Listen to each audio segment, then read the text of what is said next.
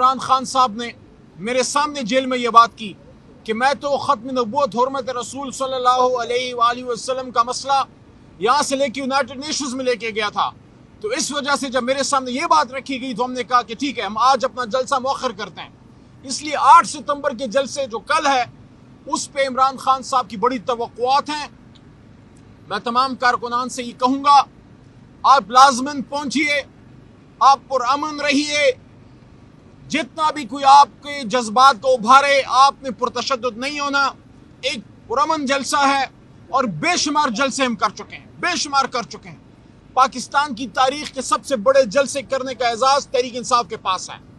इमरान खान साहब जब हमारे बीच जलसागाह में मौजूद होते थे साहब की मोहब्बत में आपने देखा कि सवाबी का जो जलसा हुआ, तारीखी जलसा हुआ है। खैबर पख्तूनख्वा के बड़े जलसों में से एक जलसा सवाबी का जलसा था। जब 10-10 किलोमीटर 15-15 किलोमीटर लोग पैदल जलसा जलसागाह तक गए और गाड़ियाँ तो मोटरवे पे 30-40 किलोमीटर तक ब्लॉकेट थी। इसलिए कल के जलसे पे दोबारा मैं आता हूँ। कल खैबर पख्तूनख्वा से, पंजाब से, कश्मीर से, गिलगित बल्तिस्तान से, सिंध से भी काफिले निकल चुके हैं। बलोचिस्तान से भी लोग आ रहे हैं।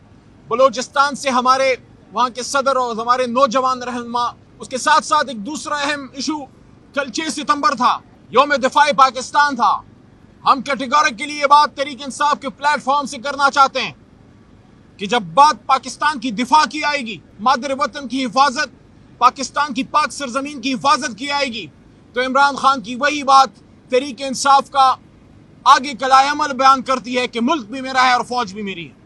पाकिस्तान के दिफा की खातिर पाकिस्तान तरीक इंसाफ हमारा हर वर्कर हर वोटर हर सपोर्टर पाकिस्तान को बचाने के लिए फ्रंट लाइन का एक सिपाही है। और पाक फौज के साथ पीछे नहीं, सीना बसीना साथ कंधे से कंधा मिला के खड़ा है। लेकिन हमारा अगर कोई इख्तलाफ है, वो एक सियासी इख्तलाफ उसूली है कि पाकिस्तान की सियासत और उमूर ममलिकत उमूर सल्तनत में इदारों की अमल दखल नहीं होनी चाहिए। और ये इमरान खान साहब, या अली मोहम्मद की बात नहीं है, ये कादियाज मोहम्मद अली जिना की बात है।